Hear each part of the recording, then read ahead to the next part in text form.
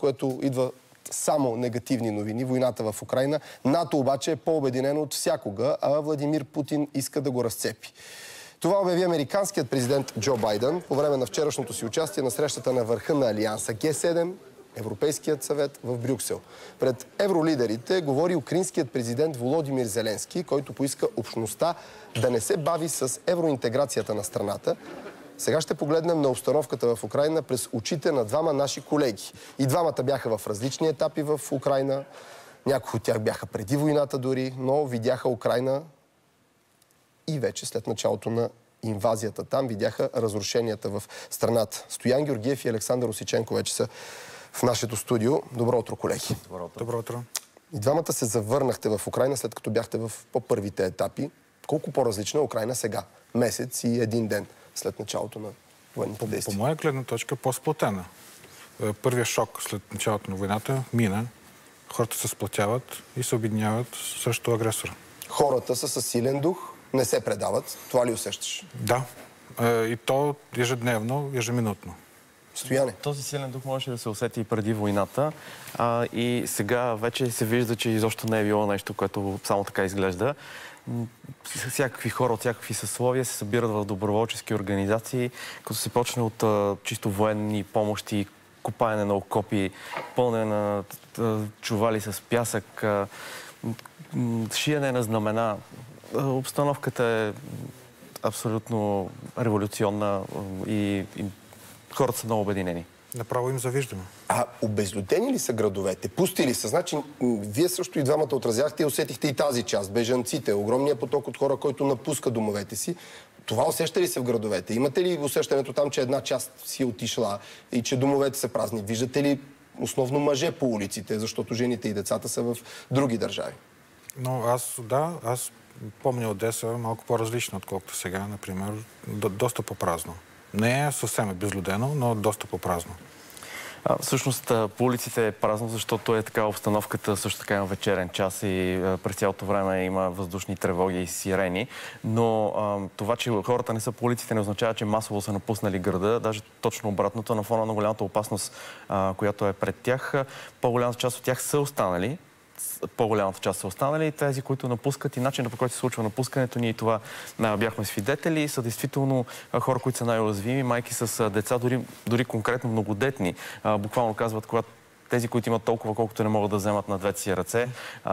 Една голяма част от хората все още са там и прави впечатление, че те започват да напускат и има големи бъженски вълни а, тогава, когато вече градовете са подложени на сериозни атаки, когато вече наистина има разрушение и е невъзможно да се живее. И всички големи а, беженски вълни идват действително от тези градове, които са подложени на огромни унищожения. Невъзможно да се живее. В различни части на Украина проблемите и дефицитите са различни. На едно място липсва вода, на друго медикаменти, на трето храна. Какво липсваше в района, в който бяхте вие? Одеса, Измаил. Кое е най-трудното за хората да си го набавят и да си го доставят, съответно и за вас, докато бяхте там? Но ние не, не посещахме аптеки, не можем да преценим ли, за лекарства, дали хора имат нужда или не. Но знаем, че имат нужда и знам, че няма. Да.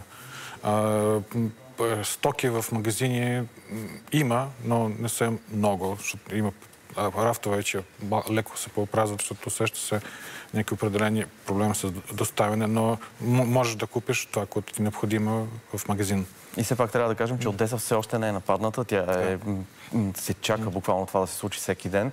И а, така че въпреки това има сериозни липси на неща. Поне половината рафта в магазините са празни. Нещата, които има, са пакетирани предимно.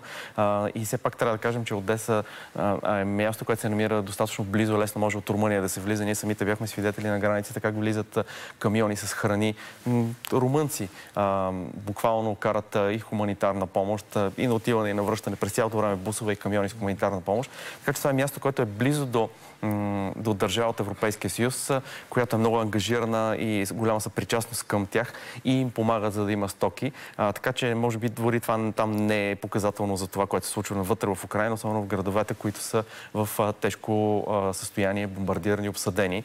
А, така че Одеса по-скоро е в момента все още седи страни от всичко това. За, за разлика от Мариупол, където хората вече от дни или седмици нямат достъп нито до топлина, нито до ток, а, нито до нормална храна някаква. Там кризата дъждовна е вода. голяма. Пие дъждовна вода. Пътуването, колеги, в Украина как се осъществява? Има ли чести проверки, блокпостове, за които сте ни разказвали и вие от първо лице? Сигурно са 50 от границата до Одеса, където са около 250 км. Навсякъде през цялото време. Усилва се проверката всеки ден. Буквално става все по-трудно, защото се издирват диверсанти. Те, са, те са направили така, че са укрепили града и военните и руската войска не може така лесно да влезе. Няма как да се случи, защото тези градове, особено, които са имали време да се укрепят, вече са много укрепени. Но това, което се случва, имат диверсанти, хора, които убийци, които са вътре, ходят из улиците. Те знаят, че изглеждат като цивилни, някои от тях се представят за журналисти а, и а, се опитват да ги хванат и да ги намерят. Затова проверките стават все по-тежки и все по-тежки. И работата на тези хора, в крайна сметка, е да извършват а, да извършват буквално убийства на място, да. Но те, проверките, те са, много, много хората се извиняват, много са любезни военните, въпреки че са автомати и, и са много. Спокойно, спокойно се отнасят, ние спокойно се отнасяме, ние ги разбираме и те, те молят за разбиране и проверяват. Да, това е интересно, че всеки един от тях буквално се чувства длъжен да ни се извини. Казва, разбирате, такава ситуацията няма как. Във война сме. Те самите, да, точно във война сме. Те самите ни казват точно това, че, че се търсят диверсанти и че това е неизбежно, няма как. И всеки един човек трябва да бъде проверен тотално. Всичко, което носи и защо да се установи кой е той. Видяхме колко много чуждестранни журналисти станаха жертва на войната. Какво е в момента да си журналист в тази страна? Усещате ли подкрепа, свободата на придвижване и на това да търсите мненията на, на хората? Колко сложно и деликатно е точно сега? А, по принцип, а, а, там молиха, молят всички и журналисти, и хора по възможност да не се снимат нито укрепване, нито предвижване на украинска техника, нито дислокация на украински военни, защото всяка една информация е, публикувана в медии или в социалните меди, е, мрежи, може да бъде като информация за е, врагове. Затова те, те се стараят да не допускат жу- журналистите трябва да има някакви много, много, много голями специални кредитации и допуск до, до военните. Но и аз до някъде ги разбирам, защото наистина е така. Пазят, разбира се, това е поверителна информация, за да... Но иначе за всичко останало, тяхната, за всичко останало, изобщо да се снимат настроенията на хората и, и изобщо какво, това, което се случва, те определено имат интерес от това нещо а, и това да има много журналисти, има и много. 1400 са горе-долу а, чуждестранните журналисти в Украина в момента, така че целият свят живее. Те имат полза от това да се разбира истината, защото са в тази позиция. Всички имаме полза от информацията, която иде от там и то от достоверната информация, такава каквато е, а не изкривената, защото знаем, че се води много сериозна хибридна война и пропаганда. Споменахме и за настроенията. Какво говорят хората по улиците на Одеса и на Измаил? Вярват ли, че войната ще приключи скоро? Вярват ли, че те ще излязат победители и че ще могат да възстановят най-малкото разрушенията? Със сигурност няма страх в хората, нещо, което наистина е впечатляващо. Няма страх, има решимост, решителност и това, че са заедно им дава голяма увереност и, и всъщност е нормално да е така. Те работят като един, без значение от каква социална прослойка са всички заедно. Обществото, ако някога назад във времето има някакво разделение, то просто го няма по никакъв начин. Ам, имат общ враг. И явно хората така се обединяват, когато има такава голяма заплаха. Хората, според мен, е точно това, е, че те напускат наистина само в крайен случай.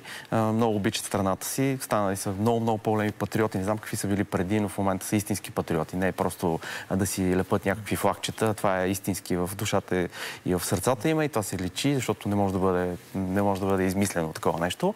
И какво да кажа? Аз смятам, че те наистина са, са оптимисти и смятат, че ще построят страната си отново. Така, така казват и мисля, че така мислят. Отварят ли се врати, когато кажете, че сте от България, точно в тази част на Украина? Одеса знаем, където живее Да, много голямо българско население. Вие сте били там и в тази част, където са бесарабските българи. Ние с, на КПП-та с войници разговаряхме на български. Там та, ам, прекрасно. В, смисъл, рецеп, а, в нашия хотел на рецепцията а, момичето говори български.